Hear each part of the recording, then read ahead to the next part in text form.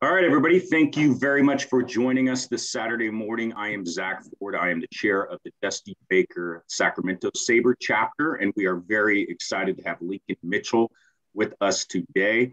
Um, and he's going to be talking about the Giants and their city, which is very near and dear to my heart because it covers the Giants during the Bob Lurie era. And uh, the last few years of that era, late 80s, early 90s, were when I really became a huge baseball fan. So I'm looking forward to having what uh, Lincoln uh, wants to share with us um, shared today. And uh, I'm going to go ahead and pass it over to Marlene. She's going to have some SABR announcements and then pass it over to Steve.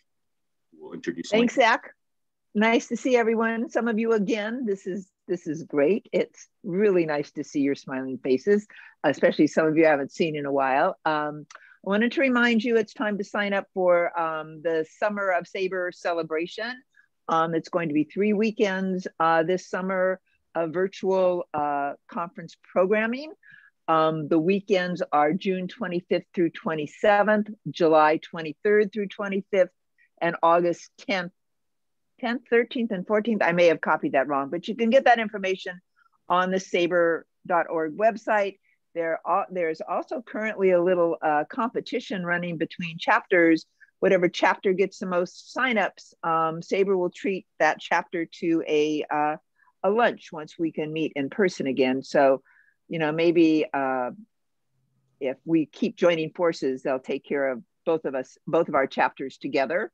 Um, we're planning a meeting on Tuesday, July 27th, another joint Zoom meeting to celebrate women in baseball. Um, Sherry Davis, the former uh, Giants PA announcer, will be one of our guests. And uh, we've invited some other women who have been uh, important uh, in baseball these days. Uh, one last announcement. Uh, we had invited you to the dedication of a ballpark in honor of Lou Profumo here in uh, San Leandro. That has been postponed. It's not next Saturday. So when we get more information, we will share that with you. And I'm going to turn it over to um, Lefty O'Doul chapter co-chair Steve Treder. Uh, and thanks again, Steve, for the wonderful presentation on Horace Stoneham last week. Um, and Steve's going to uh, take us to Lincoln. Thanks. Thank you, Marlene. Um, I think one of the greatest things about baseball writing and baseball history is that there's so many great angles uh, from which to, to, to look at it. And among those angles is sort of putting baseball within its context, within social, political, cultural uh, norms. Um, if you've never read Lincoln's earlier book, uh, San Francisco Year Zero, it is a political, social, cultural history of San, the San Francisco Bay Area and the Giants through the very turbulent and troubling era of the 70s. Um, it's a terrific book. I really, really love it and, and, highly recommend it. And it really it resonates with me because it, this this is my time. I was in high school and college through those years, and of course a diehard Giants fan. And it was such a a weird and and exciting and kind of scary time to to live through. Uh, and Lincoln just captures it wonderfully. It's it's really good. I have not yet read Lincoln's newest book. Trust me, it's on my it's on my to-do list, but I'm really looking forward to it. It's I think it's really going to be a treat, not just for baseball fans, but for for Bay Area people who who really you know want to understand what this what this cultural and social and political uh, amalgamation of, of things is. So Lincoln, take it away, please. Well, thank you. And thank you for those very kind words, Steve. It's always great to learn that someone besides my mother is reading my books, let alone enjoying them. So thank you. Um, and thank you, Marlene and Zach, for, for organizing this. I wish we could be there in person, but but maybe next time. I also want to recognize my my really perhaps my oldest friend in the world, Charles Fracchia, who was on the call Justice Charles. I guess he maybe can't spell his last name or something. But uh, and this is uh, and the reason I want to recognize Charles, besides that he's we've been friends since 1971, is that this is a book about told from the perspective of being a Giants fan. I'm not an insider. I'm a fan and a scholar. And my journey as a fan, Charles has been with me pretty much every step of the way. So he's implicitly part of the story as well. Um, I just want to mention this is the book, San Francisco, uh, The Giants and Their City. I put in the chat the link to if you want to buy it on the um, at Kent State, which is the publisher. You get directly from them. There's a coupon there. I think the coupon says something like baseball It's not the most top secret coupon in the world, but it gets you a little bit of a discount. You can also get it at wherever you buy books online or anything like that. But if you just want to keep it simple, uh, you can go to Kent State. Um, I mean, go to Kent State Press online. So I, there's a couple things I'm doing in this book, and a couple reasons I kind of wrote this book. First of all, this book is about the Giants on and off the field during the period from 1976 to 1992. And the reason for those uh, that's bookended by that is yes, it is the Bob Lurie years when Bob owned the team, but it's also the story begins with them moving to Toronto and ends with them moving to Tampa. And those of you who are particularly astute are saying, wait a minute, they never actually left. And they didn't. And, and for that, I, I can't imagine. Uh, I, I'm the only, I think we're all grateful for that. But it was that close. It, it really almost happened. And, and it was treated in the media as it was a done deal. So I want to kind of explore that. Um, I also am fascinated by this idea. It's easy to write a book about being a fan of the Yankees in the 1950s, right? Or another team, you know, that's the, the Yankees in the late 90s. But but for most baseball fans, our journey with our team includes decades where the best that happens is you you get a pennant. You know, the best that happens is a couple playoff appearances, particularly in the older system when not every team made the playoffs. And that is those are the stories that the on the field stories that are kind of forgotten but for many fans are most imprinted upon us. So that's the that's why I wanted to write this book about this period. I think a lot of that comes across.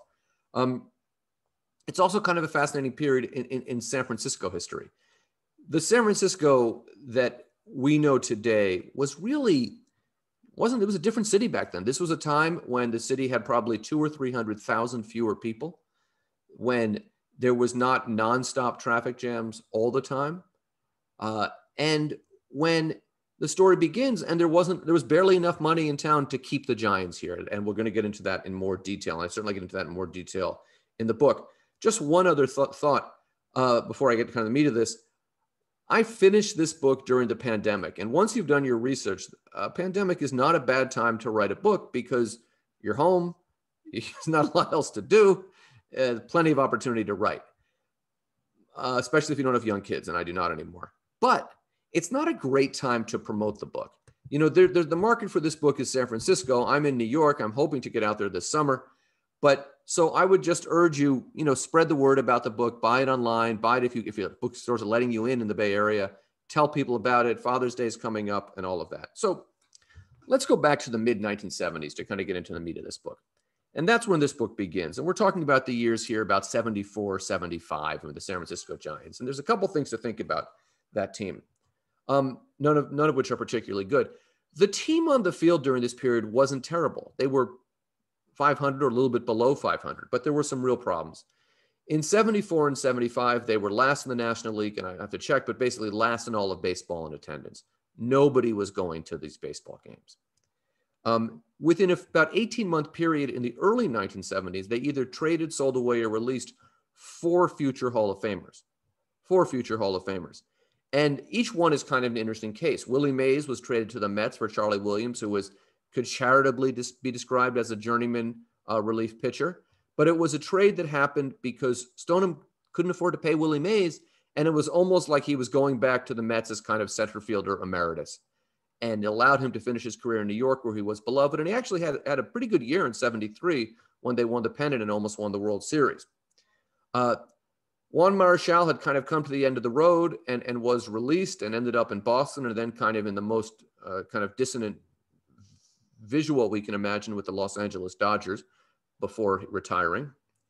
Uh, the, the two ones that kind of upset me the most Gaylord Perry, who was still very much on top of his game, was traded for sudden Sam McDowell, who was very much not on top of his game and was struggling with arm injuries and substance abuse. And they got essentially nothing in return.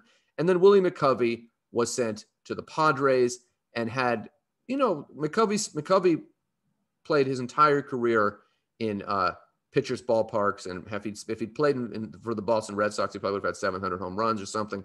But he ended up having a few decent years in San Diego and then, and then as we know, came back. A couple of other things about this period the farm system began to dry up. And remember, well into the early 70s, the Giants farm system was so good that they could kind of trade George Foster, uh, you know, for Frank Duffy And in the short term, it didn't really hurt them, right? They could trade Dave Kingman. In the short term, it didn't hurt them. They kept producing these guys Bobby Bonds, Gary Maddox, Gary Matthews, so many great outfielders. But by this period, it begins to dry up. So 75, John Montefusco wins the Rookie of the Year. There's one or two good prospects in the organization, but it's beginning to slow to a trickle, which by the late 70s, it really hurts the team. Um, a couple of other things. The ballpark was Candlestick Park, and it was terrible. And I want you to just put a pin in that because we're going to spend a little bit of time in Candlestick, and and and there's a lot about Candlestick in the book, a lot of which you you may have seen before, and a lot of people talking about in ways that I hadn't seen before. A couple of other things that are harder to uh, to really characterize. Stoneham has basically run out of money. The Stoneham family owned the team for that time almost 50 years, and the money wasn't there and the interest wasn't there. And he wasn't a San Franciscan who was, you know, committed to the city that way. The other thing that's kind of the harder, harder to describe is that it was not part of the gestalt of the city. Being a Giants fan in San Francisco in the mid 70s and even into the early 80s, but certainly at this time, this was some weird thing that was going on in the southeast corner of the city in a city that probably more than any other in the United States was changing due to the kind of political and cultural and social changes. Baseball was left behind in San Francisco. I talked to a lot of people for this book and for Year Zero who said, you know, I came out here usually from the East Coast and I'd been a baseball fan back home, but I kind of forgot about it for 20 years. And, and there was so much happening and baseball wasn't part of that. So, and then January of 1976 rolls around. Now, a couple of things happened very important in the early part of that year. In late uh, December of 1975, there was a very contested and very heated runoff election uh, for mayor of San Francisco, in which George Moscone defeated John Barbagelata. Moscone will get to, actually, I'm writing a biography of Moscone, so if you really want to get to Moscone, you're going to have to wait a few years. Barbagelata was kind of a proto Giuliani type, but without the polish. And and this the election ended with uh, Moscone winning by 4,400 votes and Barbagelata sending people in to storm the Board of Elections. Stop me if that sounds a little familiar. Anyway, Moscone, campaigning as a progressive Democrat, comes into office, and the day before his inauguration, and this is all in the uh, in the book, I, I quote some of these. The Toronto newspapers are running headlines: "We get Major League Baseball." Remember, the Blue Jays hadn't come around yet. We have, we're getting a major league team. And then they were running articles in the Toronto Star, things like, here's where they're going to play, here's how much the tickets will cost. Some tickets will be as cheap as a dollar. Will they, will we, should we fire Wes Westrum and get a new manager? Uh, they were saying, well, look, the Pirates and Phillies are obviously the two best teams in the National League East, but the Giants could finish third. It was not something they were speculating about the team coming. It was done. And the San Francisco papers are running the opposite of that, which is, oh my God, we're losing our team. So a mayor who comes in with this broad progressive agenda is kind of smacked in the face with, you know, you can't be the guy that loses the Giants, even though it's probably Joe Alioto's fault more than Moscone's. It was going to land on Moscone's plate. Moscone, by the way, lifelong sports fan, all city basketball player, didn't want this to happen. And that's where the book begins. And when this happens, Moscone has to do two things to keep the Giants in San Francisco. He has to buy time because they want to do this quickly, and he has to find the money. Now, he has to get $8 million. That's how much it was going to cost to, to, to match the offer of the Labatt Brewing Company, a beer brewing company that was going to take them, the Canadian beer brewing company was going to take them to Toronto. And fortunately for the Giants, Bob Lurie had kind of been thinking about buying the team anyway. So he moved very quickly. He got in contact with the mayor's office and he said, I'm in. Now, if you know much about Bob Lurie, the Lurie fortune, Bob, Bob, as my as my late father would say, Bob Lurie made his money the old-fashioned way. He inherited it. Uh, Louis Lurie was had made an enormous amount of money in real estate in Chicago, but primarily in San Francisco. He was very active in the kind of civic leadership, philanthropy of the city. But he was dead, and Bob was now running the. Uh, Bob was now running the business. I think somebody is unmuted. Maybe we're getting a little feedback here. I think Jimi Hendrix has hijacked our Zoom meeting. Um, anyway, so so Bob, uh, but he it was cost and and also if you're in the real estate business in San Francisco, which is a good business right now, I mean it's going to get better, but you can't move your business, right? It's not like a, a factory. So what was good for San Francisco was going to be good for Lurie's bottom line in his real estate. So he was it was a reason to believe this guy was committed to keeping the team. However, he only wanted to could come up with $4 million. Now he needed another $4 million and he couldn't get it. I want you to imagine, even if that 4 million is 40 million in today's dollars, that the wealthiest people in San Francisco, when contacted by one of their own, right? Not somebody like, you know, you or me who maybe doesn't have $4 million or $40 million to spare, but by a member in very good standing of the business elite. He couldn't raise the $4 million. He, in, in his words, everybody was out to a very long lunch. He would call, he wouldn't get his call returned. And Bob Lurie was uh, well liked. He wasn't some pariah socially or anything like that. Bob Short, who had been the disastrous owner of the Texas Rangers after the second iteration of the, of the Senators who moved to Texas, he offered to meet the other four, but the two of them had a falling out because basically the National League said, well, he can be a silent partner. And Bob Short, who was kind of a poor man's George Steinbrenner, was never going to be a silent partner. So it looks like the deal is going to fall through. And at the very last minute, Bud Herseth, who was a cattleman from Arizona, comes in and says, I'll buy the team. And he puts in the four million and he knows less than nothing about baseball. So he would say things like, well, if the pitchers only pitch every fourth day, meaning the starting pitchers, shouldn't they, I don't know, play outfield or something in the days in between? That's not really, maybe that works in high school. It's not really how you run a major league team. And, and it became clear to Lurie in the National League that something had to be done. So Bob bought him out the following year for four and a half million dollars. If you're keeping score at home, Herseth made half a million dollars, you know, a 12% on his investment, which, you know, isn't bad if you can get it. So the team is now in San Francisco. Lurie is committed, but they're still stuck in Candlestick Park. And um, it they're, kind of two characters that run through this entire book. One is Bob Lurie, and the other is Candlestick Park. So I'm just curious, those of you who are on the video, which is most of you, could you either physically raise your hand or put the raised hand icon in the screen if you went to a night game at Candlestick, night baseball game at Candlestick Park? Good. So I'm not going to spend a lot of time describing it. Uh, for the handful of you who have not, um, just say, think of everything you've read about it. It was worse. Um, and, and I will just say this I'm, as you may have known from my work, I'm kind of half in New York, half in San Francisco. And I grew up in San Francisco, but my family was all here in New York. So every winter, we would fly to New York during what what, uh, what what's known as winter break or Christmas break to visit my grandparents, my aunt, my uncle, my cousins, all of that kind of thing. And I would dress for, you know, going to Central Park with my cousins in December the same way I would dress for, yes, Charles, exactly. I would dress for a night game at Candlestick Park in August. I mean, except for I didn't have like my cousin's ill fitting, you know, winter boots, but basically the same. It was that cold. Also, they, they, they shared the ballpark with the 49ers, which meant the outfield was torn up a lot in the second half of the season. Uh, Will Clark told me a story, and Will Clark, I mean, a great player, but also a great defensive first baseman, which is often overlooked in the oeuvre of, of Will Clark as a ball player that he, he told me a story where he's chasing a foul ball, you know, into behind first base and kind of right field. I think it was a foul ball, and it lands. He doesn't get to it. He picks it up on a bounce just to throw it back into the pitcher, and it's got green paint on it. And the reason is the 49ers had torn up the outfield, and the grounds crew just kind of sprayed green paint on the ground. That's the kind of ballpark it was.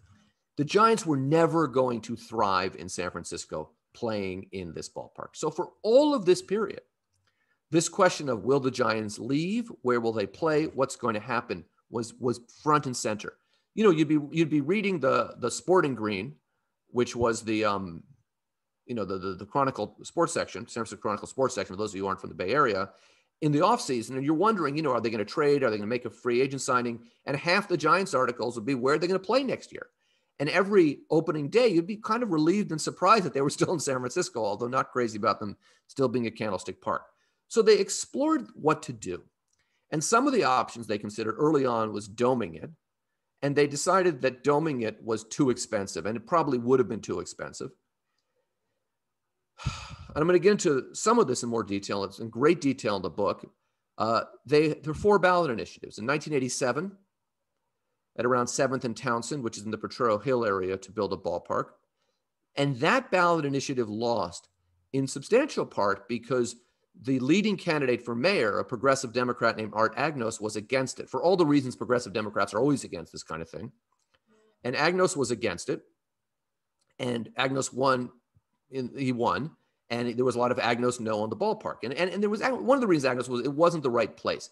And when I talked to people who were involved in this decision for the Giants, they kind of conceded it wasn't the right place. Two years later, they come up with this idea uh, to put the ballpark. This is in 1989, and this is a crazy place for a ballpark for those of you who are from San Francisco. But if you can imagine the corner of like Third and King Street, um, that's where they wanted to put the ballpark. That initiative would have passed probably if not for the earthquake, which we'll talk about, which you all know about. Um, but that that failed too. And and that and that time Agnos was mayor and was supporting it. And after that, the they begin to look in earnest to move down the peninsula. Now, I am there is I'm, I'm enough of a San Franciscan to say San Franciscans are maybe besides New Yorkers the most provincial people in the world, and um and and and I talked to three mayors, either two in person and Dianne Feinstein over email about this. I for obvious reasons, you know, there were four mayors this time. Moscone was assassinated, so we can talk to him. And all of them basically said that, well, moving to Santa Clara, they might as well move to Florida, right? And, and, and I think to capture that, if you're from the Bay Area, you can't appreciate that. But that is how San Franciscans think. And I will tell you a true story because you haven't seen me on the call here. Many years ago, I would say roughly 1993 or 1994, uh, a, a, mutual friend of Charles uh, Fracchia, Charles wave your hand so everyone can see you, and I had a bachelor party. I was, was getting married. And Charles and I were going to go to the bachelor party along with a couple of other friends. And he was living in San Jose with this woman, and we were to, that he, his wife now, and, and that, you know, they're going to get married. So he, he, he sent us, he told me the address on the phone because there's no email back then of the, the bar in, in Santa Barbara, it's like a sports in San Jose where we're going to meet. And I was driving and, and we get in the car and it's Charles, and I think Charles, I think it was like Will Lowry and John Machino, you know, two other friends. And, and I pick everyone up and we look around each other and where are we going? And none of us knew. We literally did not know the way to San Jose. And between us, we'd lived in San Francisco 80 years, right? So, so that's so so moving down the peninsula was not something that that people wanted. And in 1992, just to put a kind of to end the story of the ballpark, that by the end of the 1992 season, all of the national newspapers, the Sporting News, the New York Times, are reporting the Giants are going to Tampa.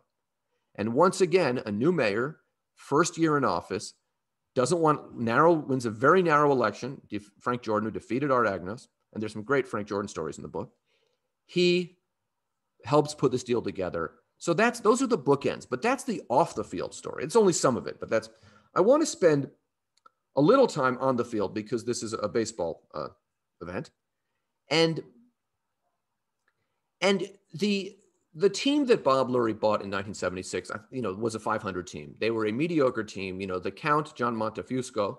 Um, I will say this: I interviewed John Montefusco for this book, and I met him in New Jersey, which is where he's from, or he was house sitting for somebody, the place was filled with Yankee memorabilia. And I go in, and he's got Fox News blaring. and this is like the middle of the Trump era. And, and I don't know if you know my other work, but I, I would say that my political views don't line up with the kind of Fox News direction. And um, and he had it on, and he said to me, I got Fox News, like as we were starting, I got Fox News on. I hope you don't mind. Now I knew what he was doing. So I just very politely said, as long as I can hear the recording, it's fine. And then he turned it down. But the count was had been rookie of the year, was this kind of colorful star pitcher who, you know, probably ran his mouth too much, but it helped get people to the extent anyone could into the seats. There were some good young players on that team, Gary Matthews, Chris Speier, who they probably should have kept. Um, and and but the team was a 500 team, 77. Uh, the 76 77 off season is one of the most interesting in baseball history. It's the first year of free agency. And if you remember that offseason, among the free agents who were available, the first year of real free agency, Bobby Grich, I'm just naming names almost at random, Don Baylor, Joe Rudi, Sal Bando, Reggie Jackson, Rollie Fingers, Gene Tenace.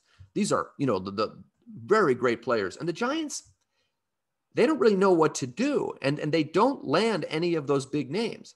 However, Dollar for dollar, in 1977, the best free agent signing was the one made by the Giants.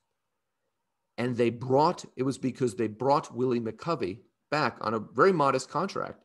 And he out he was a better hitter in 77 than Joe Rudi, than uh, than Don Baylor. I mean, not than Reggie Jackson or Bobby Grich, but he was a real, probably the best hitter on the Giants team in 77. And when I asked Lurie about this, he said it was a baseball decision. And I attribute that to Bob being a very good spirited person who, and, and when we spoke, McCovey had recently passed away. It was only in part a baseball decision. It was also a decision on, on the Giants' part to rebuild a relationship between the fans and their history in San Francisco. McCovey stuck around till 1980.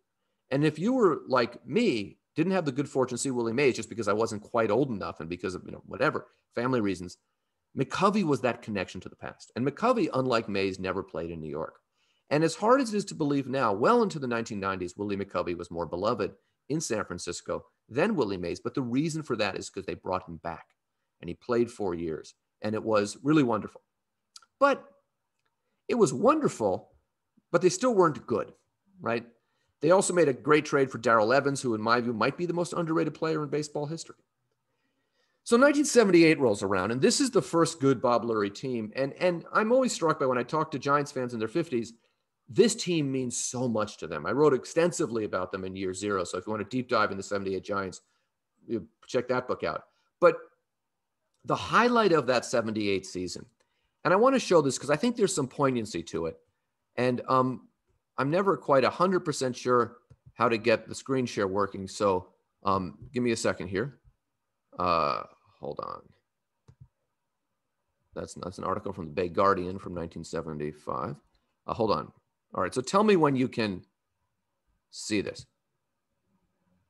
So, can you see this in the screen share? I'm not seeing anything yet. There we go. It's starting to come up. There we right, go. Can you see this? We got YouTube. Yeah. So this is May of 1978. It's the Sunday of Memorial Day weekend. The Giants have been in first place for a while. And Mike Ivie, who I talk about extensively in this book, because Mike Ivie was a guy who struggled with mental illness at a time when that was just dismissed as weakness and not being a team player. And it really hurt a career of someone who was asked to do the wrong things in his career. Mike Ivie, Mike Ivie's best position was hitter. If he'd been in the American League for most of his career, he would have been, you know, a solid designated hitter and an all-star many years. But he this is in the sixth inning of a game in May. And he is pinch hitting for Vic Harris, who might have been a worse player than Johnny LeMaster. So I'm just going to show this clip here, okay? And listen to the crowd.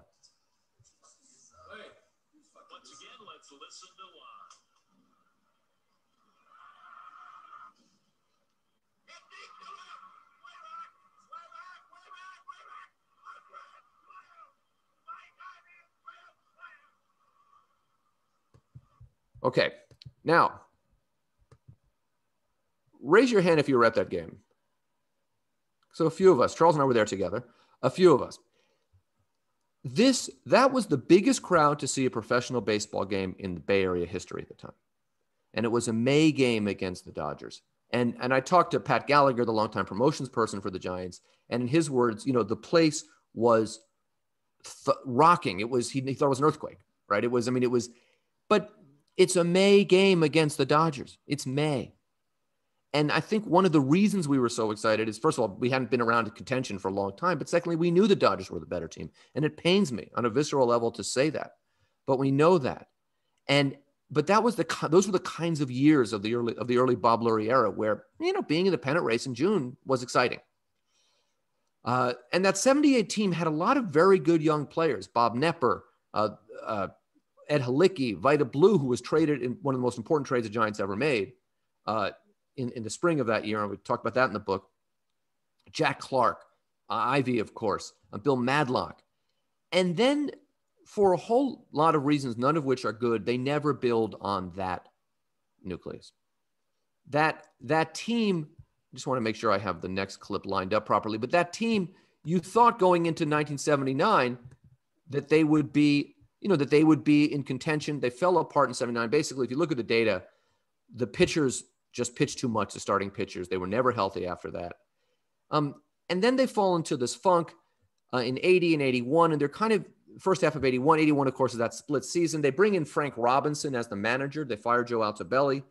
Uh, and there's an interesting story there about how Robinson, who, as you know, is the first African American manager in the American and the National League and how at least one other owner advised Lurie not to hire Robinson because in the other owners' words, you wouldn't be able to fire him, meaning kind of a racist way of saying, you know, you can't fire the black guy uh, because you have the backlash. But Lurie went ahead and hired, hired him anyway and ultimately fired him.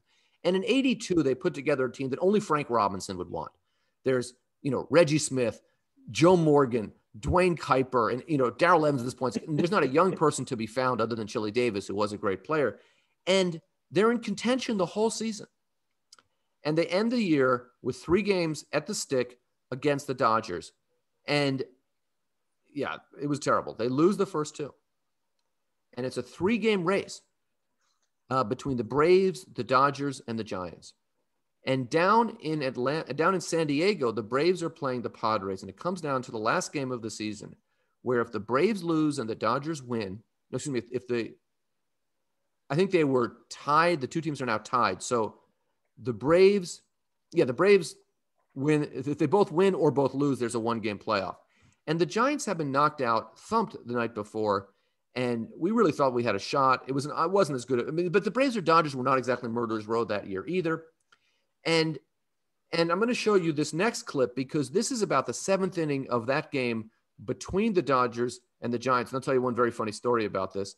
Um, but hold on. And and and uh, so watch this. And I want you to watch to the end. I'll freeze it on the screen on the frame. There's Frank Robinson. Joe.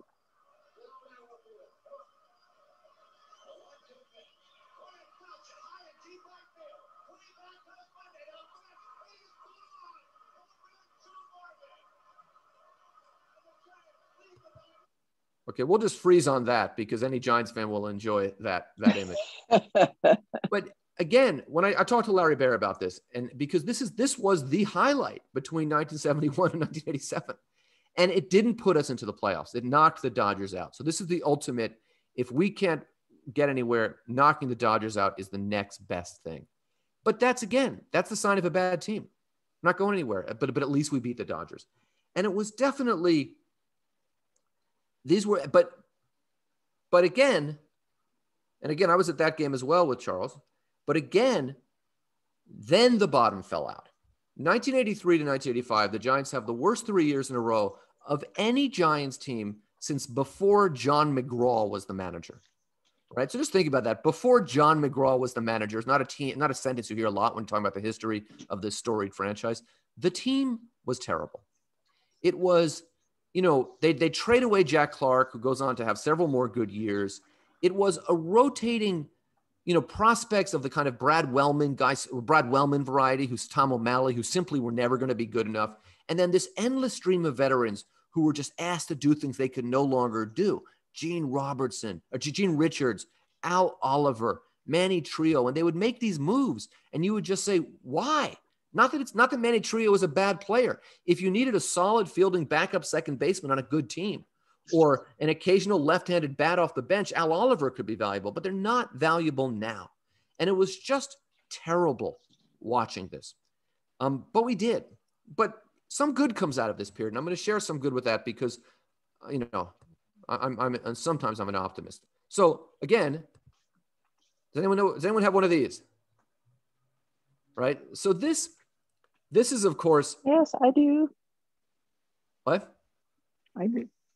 Okay, so that is, of course, the Croix de Candlestick. So raise your hand now that I can see you again if you have one of those. And this was the promotion where they're still playing at Candlestick Park. It's still miserable. It's still freezing. So what do they do? They come up with this promotion, which is great. If you stay to the end of an extra inning game, you get this Croix de Candlestick. And if you go to games now, I mean, some of you, I'm talking to Giants fans, you'll still see people with quads on their caps. But so it creates a buzz. It kind of makes something funny out of something tragic, which is how terrible the ballpark is. But I want you to think about the promotional value of this. Um, if you have cap day and you get, you know, some local company to sponsor giving away 20,000 caps to the first 20,000 fans, you're going to get 20,000 people there, right? If you have, you know, half price night or something, you know, you can, you can schedule a half price night, but you can't do that. The, the logic doesn't work staying like, like you don't schedule extra inning games. Well, now, due to the the the unending brilliance of Rob Manfred, we don't really have extra inning games anymore. But but you can never schedule them, right? So of course it's like a quirky thing. If you get one, you get one. So it didn't sell any extra tickets, but it began something important, which is understanding that the Giants are a different kind of team playing in a different kind of city and to build a relationship with San Francisco. So I would argue that two of my favorite, some of you may know that in the earlier part of the last decade, the Giants won three World Series. Does anyone know that? Some of you may have read that somewhere. And two of my favorite players from that run are Tim Lincecum and Sergio Romo. And those are kind of only in San Francisco type players, only with the Giants. Sergio Romo with the Yankees would have had to shave his beard, would have fought with uh, George Steinbrenner. So you can imagine Lincecum on a team like, you know, the St. Louis Cardinals or something like that. So they're beginning to build this relationship. But nothing, when you're building that relationship, this is where it starts. Uh, hold on. Okay. Share. I'm sorry. This is where it starts.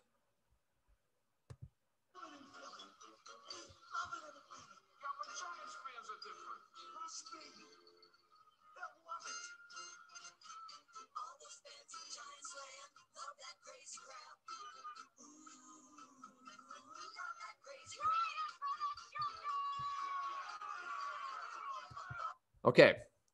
That was, of course, the crazy crab, which younger fans don't believe this was a real thing. They don't believe this actually happened. Now, now that that commercial we saw, I have a, I think I have a photo of you, Charles, with the crazy crab, but I can't see it right now. I can't reach it right now. But that that that commercial that you saw, what's the first line? Giants fans are different. And they begin to tell a story. Giants fans are different. Again, Larry Baer said, you know, the Giants are like an acquired taste, like punk rock or the Grateful Dead, which in San Francisco kind of resonates. So they're trying to kind of create that story. And the crab, now, if you know anything about San Francisco, you know, crabs are, uh, if you keep kosher, you can, this isn't relevant, but you know, crabs are delicious. Different ethnic groups eat them in different ways. You know, now there's the crab sandwiches out in the center field when you can get to the game. But, but, and, and of course, they're booing it, right? Because we're San Franciscans. We don't like mascots. Mascots are too commercial. We boo our mascots but it really did catch on. Of course, the team is still losing. The team lost 100 games. I mean, but, and I tell you, I was in high school then, and I had a friend, you know, who would see me in the hallway. You know, this is tells you probably more about me in high school than anything else, and would sing and dance that crazy crab song. Right? It did kind of catch on, but it was it was part of the team and part of their image. And then something very strange happens. Towards the end of 85, Lurie loses it, fires the manager, fires the general manager, and he brings in Al Rosen to run the team. And Lurie had wanted Al Rosen to run the team for a while. And there's a lot about Al Rosen in this book because he's kind of a fascinating character. And Rosen brings in Roger Craig. And since that time, the team was never a laughingstock again.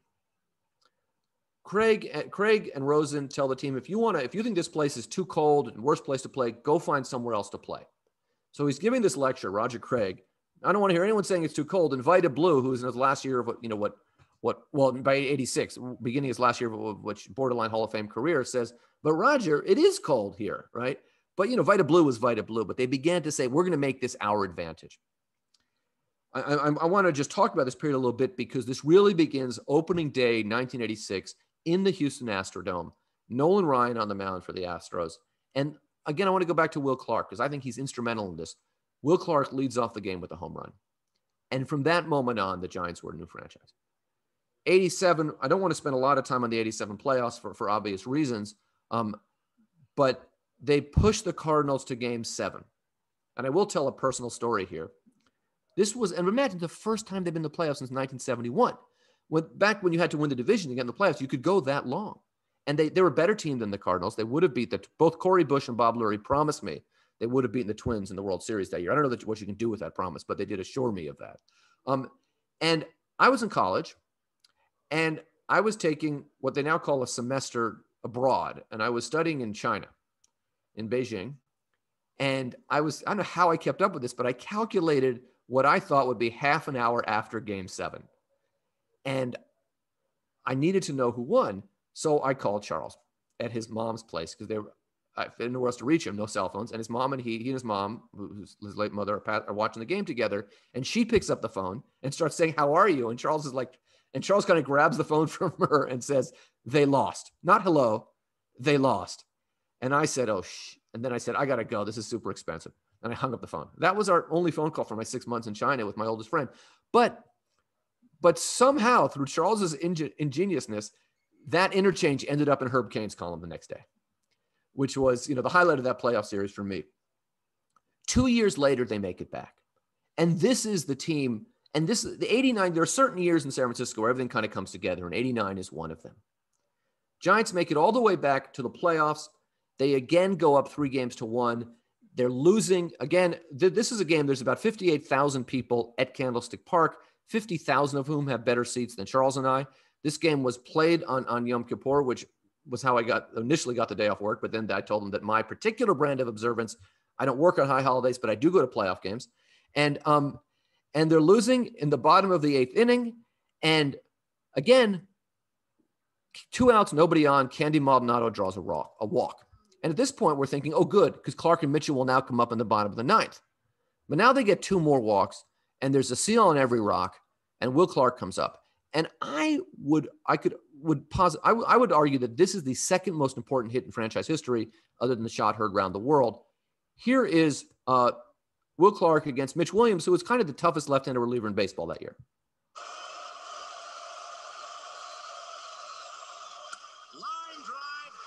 You're not sharing it, Lincoln. Oh shit. Sorry, let me let me let me share that. Sorry about that.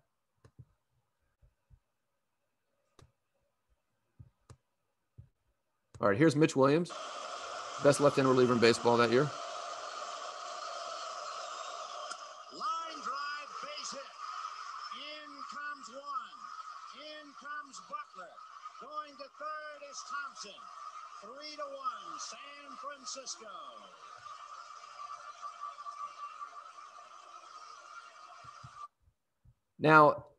Unfortunately, there's no video with Hank Greenwald making the call because Greenwald's line was Superman has done it again. Will Clark had an awesome NLCS that year. We'll talk about that in the book. Um, and and the Giants are back in the World Series for the first time since 1962. So there are people, uh, you know, watching that World Series like me who've been fans for years who weren't alive but who've never seen the Giants in the World Series. And and we're not going to talk about that world now. And and the World Series was ugly. They lost the first two games and we all know what happened in game three. We all know what happened in game three shortly before the game started, which was the earthquake.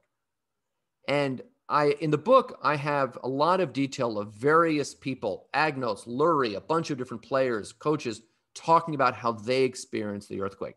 I'm not going to go into that here, but I will tell you one story, which I'm only going to tell if you promise me it won't stop you from buying the book, because it's a very good story. Um, but so as you know, they couldn't play game three because the, the, the damage from the earthquake, and they weren't sure what to do. And the the focus was on making sure everyone was okay in the Bay Area. Remember, they're playing the A's across the Bay, so you know Oakland was hit just as hard as San Francisco, harder in some ways.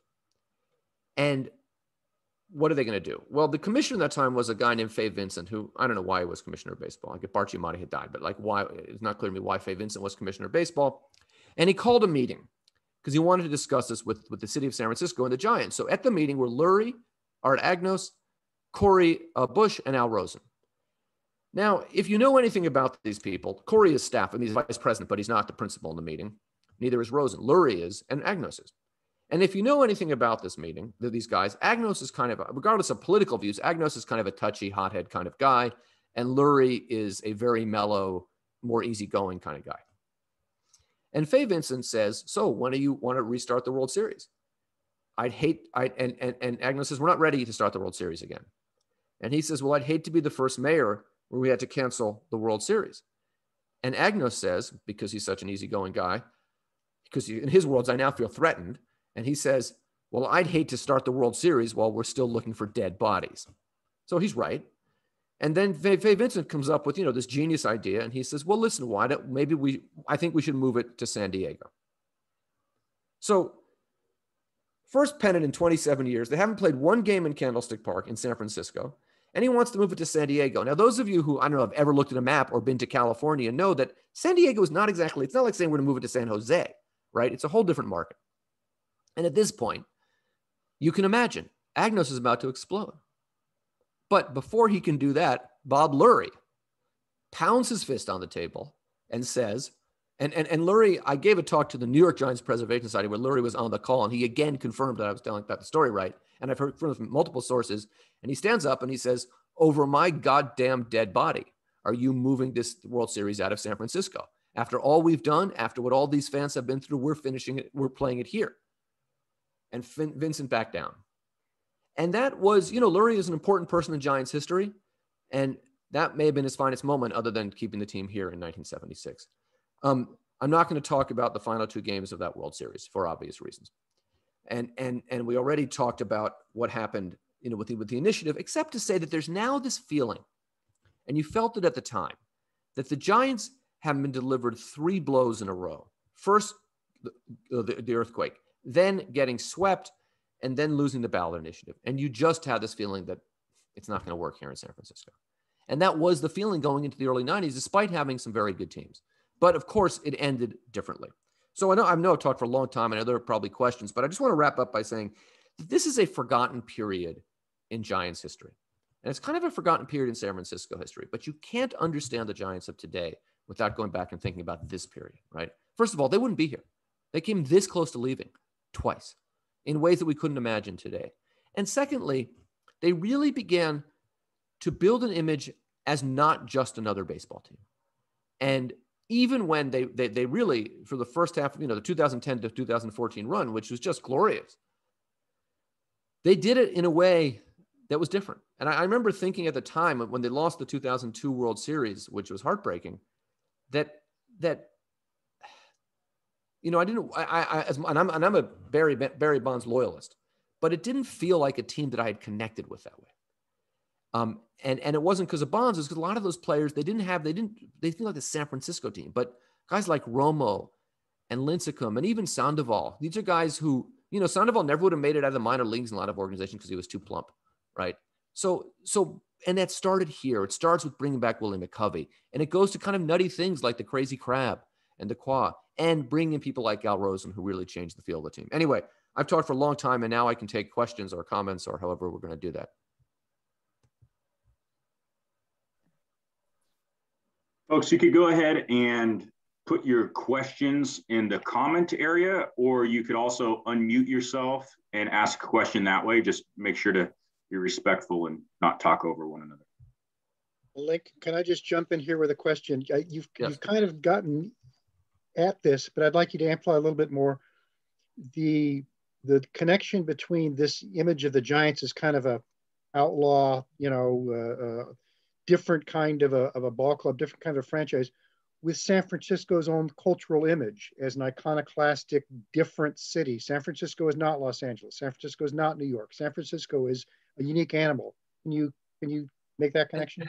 Well, ironically, I was thinking if you actually started a team today, you wouldn't necessarily feel that way, right? I mean, this is this is in the but the San Francisco in the 60s, 70s, and 80s really was unusual in almost in every imaginable way. Demographically, it was unusual, right? The city had a large the, the city at this was a time when most american cities were heavily still heavily african american or white and the city had huge asian american populations huge latino population obviously a huge gay population right so the kind of casual homophobia that that is par- sadly this part of sports culture wasn't going to help in san francisco right so they're one of the first teams to do the aids benefit and a, a ball game to raise money for aids they, they they did the first team to do the it gets better it'll get better what it had a few years ago even now they're the only team with a pride hat or the first team with a pride hat, right?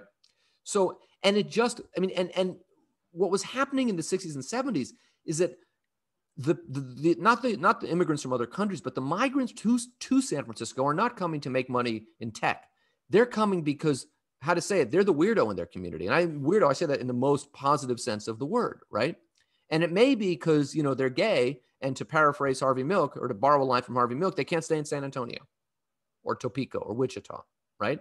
but maybe they're not gay. Maybe they just like have different political views or different kind of music, or they're just running away from a, a, a culture that's not working for them back east or in the Midwest. And when you come that, baseball is associated with those conservative things you've left. And for newer San Francisco, it's hard to understand just how big a part of the culture it was at the time.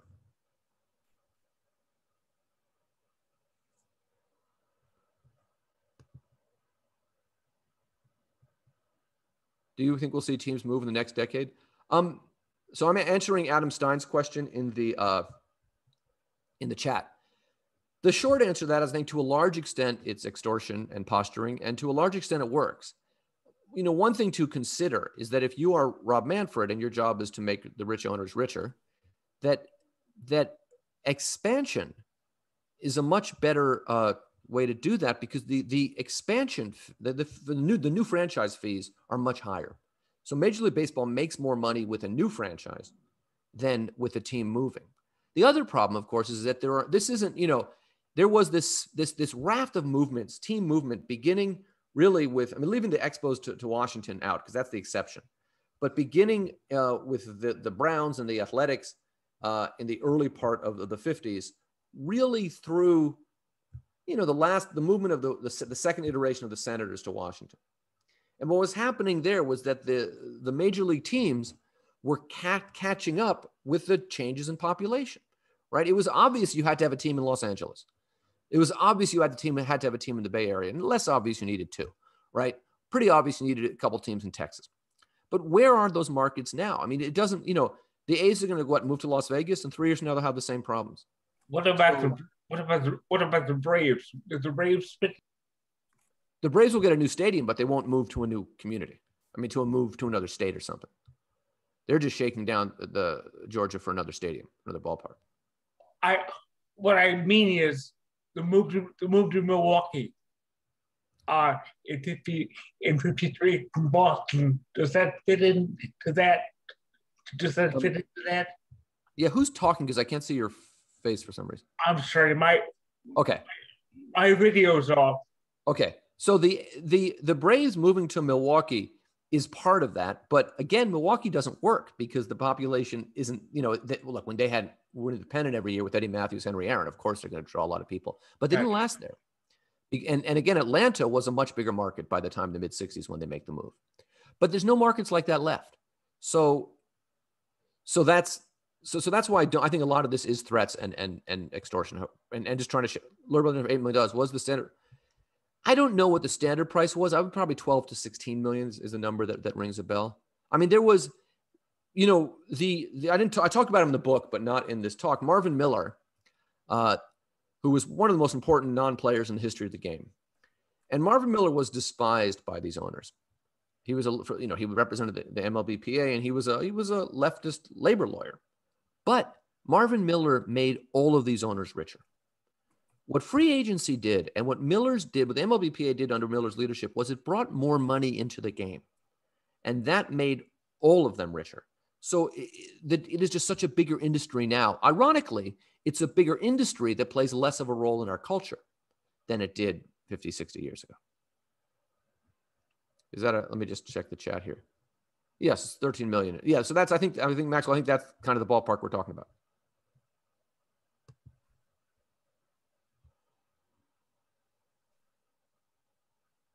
John Scully. Uh, yes. Uh, can you hear me? Yes. Yeah. Uh, do you know if Bud Herseth's still alive and whatever happened to him after he sold his interest to, to Bob Lurie? I have never heard about him. no, I'm reasonably certain that I came across his obituary in doing research for the book. Oh, okay. but I don't know what happened. He went back to Arizona. Yeah, I never mean, heard a peep out of him. I mean, he like the other thing is that he told Bob that one of his favorite things to do was to go to the track, the racetrack, which is fine. People go to racetrack, but you, it's not really it doesn't work. It's not compatible with owning a major league baseball team, right? You know, you're really not supposed to. You know, the whole gambling thing. So baseball just wasn't his thing. I suspect he went back to Arizona and lived his life in in extreme wealth until he died an old man. But I don't know. You're right. He's and he's and I think very few Giants fans know who Bud Herseth was. And he stepped in at the last minute. And and I heard um, you know, Corey Busch told the story because Corey has an interesting role in this because he was Moscone's press secretary. And then he went to go work for Bob Lurie because he's a huge baseball fan. And he told me that he'd grown up a Dodgers fan in Los Angeles, but he traded in his Dodger blue for Giants green. And now he's a lifelong Giants fan. But he said that they were, you know, he came back from lunch and he said, I'm getting calls from people in the Richmond district saying, I'm, I'm emptying my piggy bank and sending it to you. Don't let the Giants go. Right. And he gets a call and, and no, no, Moscone gets a call. No, he's called this guy back. He's called Bud Herseth. And he calls And and so and then he realizes that he this guy's real, and he transfers the call to Moscone, the mayor, and Moscone's like, "Get in here, write this down, like check out, make sure he like." They'd never heard of this guy. He came out of nowhere. He believed there was some real estate involved, and he wasn't. Herseth did, and he thought he was getting that real estate in Arizona near where the Giants train, but it wasn't part of the deal. But then he just brought it anyway. He was there for a year. He made his money, and he went back to his his life, which I assume included eating a lot of steak because he was a cattle rancher. I just toss in a quick Bud Herseth story here? Yes. Uh, the, Lurie and Herseth, of course, had never met. All they they made the deal over the phone, literally in a matter of minutes, because there was a deadline they had to meet. So they they you know they went ahead and did it.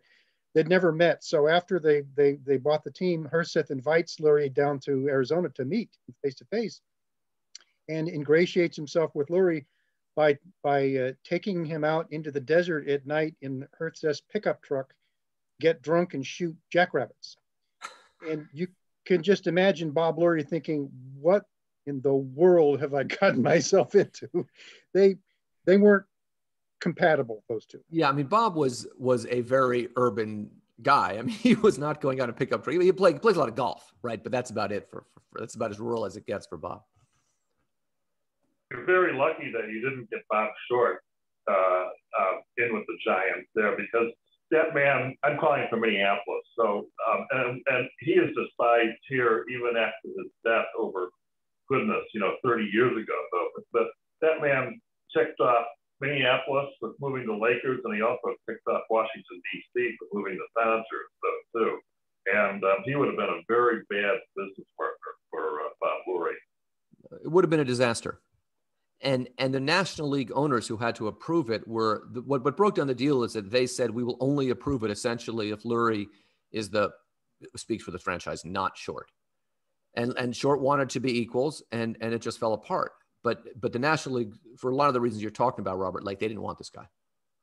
And and and and Herseth said it was the same thing. The National League said, you know, we want. I mean, Lurie. I mean, you know, I don't have. I mean, Bob, obviously, enormously wealthy man, and he's in that world, and people knew him, and they trusted him, and and he was like them, and you know, so so he was the one that kind of ran the interference for Herseth. Maxwell. Yes, uh, we've all seen that famous picture of George Moscone in the 70s plaid jacket throwing out the first ball on opening day at Candlestick Park.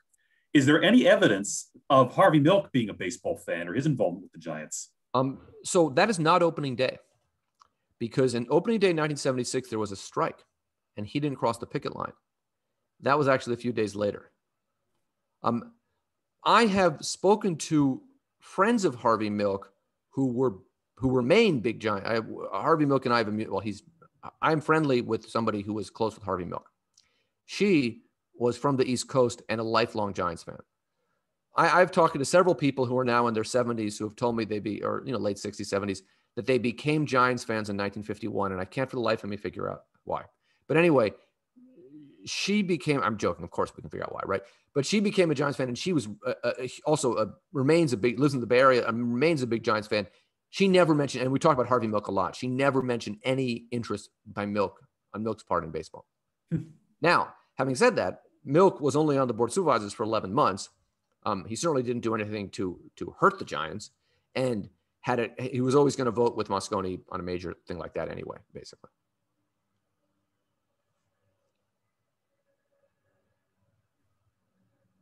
Now, Milk was not on the board of supervisors in 76. He got on in 78.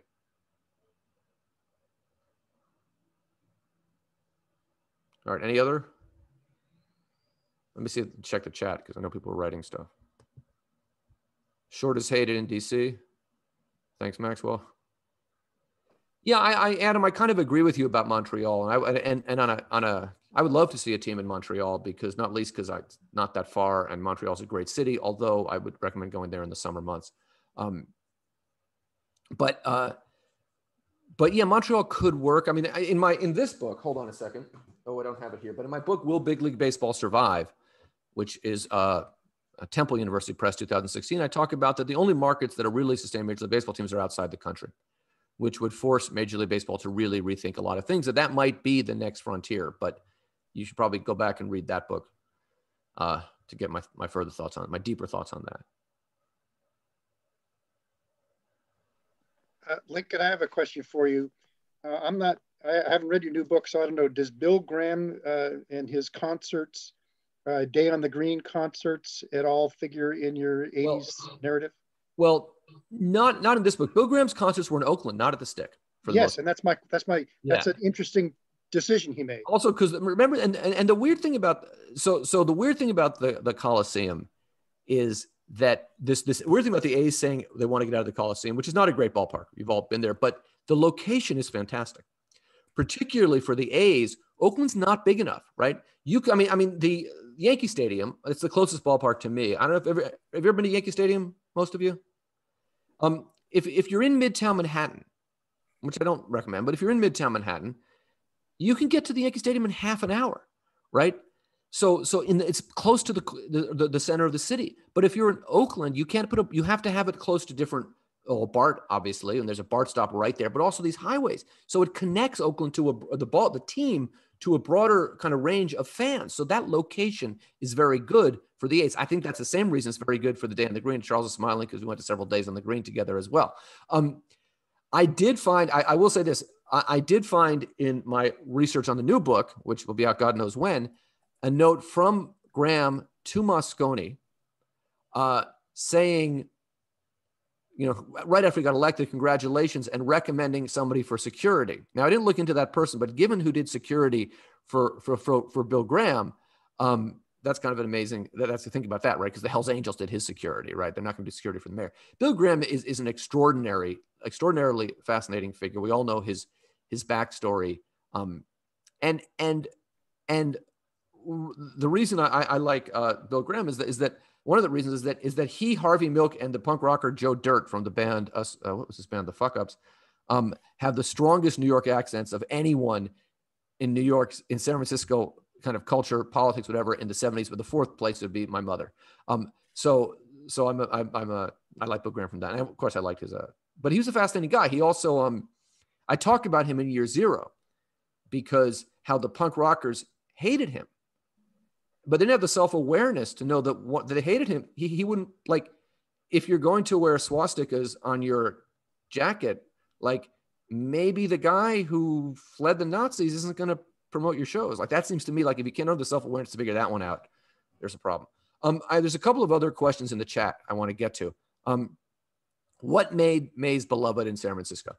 Well, I mean, you know, Frank Conniff described San Francisco in the 60s as you know, this is a crazy town. They boo Willie Mays and they cheer Khrushchev. And Mays got a lot of criticism from Giants fans because he was just wasn't quite good enough to carry this team all the way. Over time, particularly after he retired, and I talked about this in the book, he was banned from baseball by Bowie Kuhn, who was in way over his head as commissioner of baseball.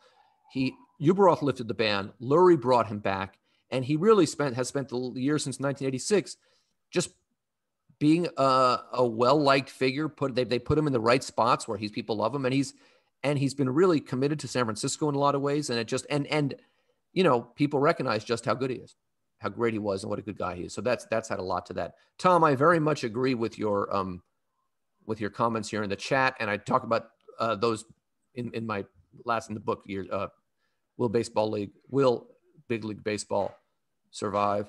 Um, did the Giants have a five year plan? Um, no, but they had a two year plan in, in, the last decade, Charles.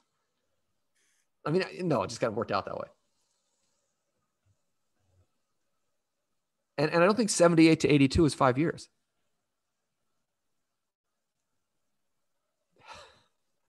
Well, but, but, but three years in between, 881, it's a four year plan, like the Olympics, right? Or elections. All right. it's five if you count both, yes. But when Stalin had the five year plan, it was like 50, 22 to 27, right? Anyway, we're not going down that road. Any other questions? I think when we start talking about Stalin's five year plan, the universe is telling. I, have actually written several books on the former Soviet Union, so I and I've been to his birthplace, so I could answer some questions if we want to go down that road.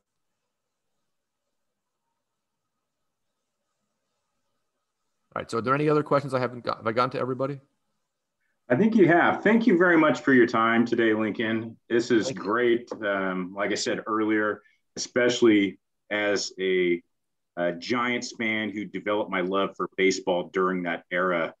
throwing out some of those additional insights was definitely something that was very interesting to me, and very um, touching, and I, I really enjoyed it. And everybody, make sure to get this book. Looking forward to tackling it. Um, picked it up about a week back. Um, thank you very much, Lincoln. Well, thank you. you and, uh, it's always great to uh, to speak to SABR folks. I hope to see be out there in person at some point. All right. Thanks a bunch, everybody. Have a great rest of your weekend. See you later. Take care. Bye bye. Bye bye.